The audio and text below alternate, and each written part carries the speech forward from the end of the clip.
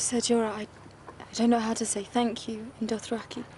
There is no word for thank you in Dothraki. From there, it was fleshing out the rest of the grammar bit by bit, adding more words. I created a lot of vocabulary well before uh, I translated any of the scripts for the first season. There are a lot of forgetting bits. there are a lot of bits where they kind of just, they float out your head. Rosale, j'ai vision. Sounds right, you know, and if you do Gaba huja de bagaba, it always sounds really crap. So it's it is worth trying to master it. Had to be real, I think, for a show that has the demands for authenticity that this one does.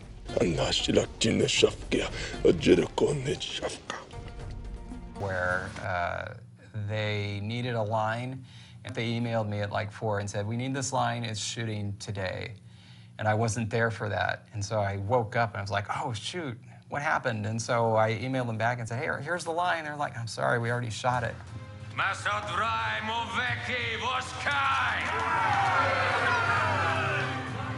And so that was Iain Glen, uh, plays Jorah. He, he actually was one of the first people to be really excited about the idea about there being a created language on the show.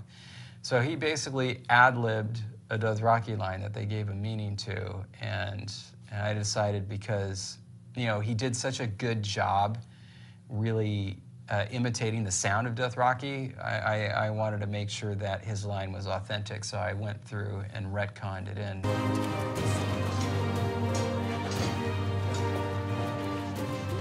It's all a lie.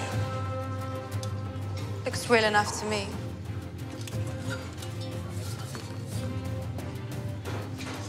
Real enough to buy a ship? Aye. A small ship.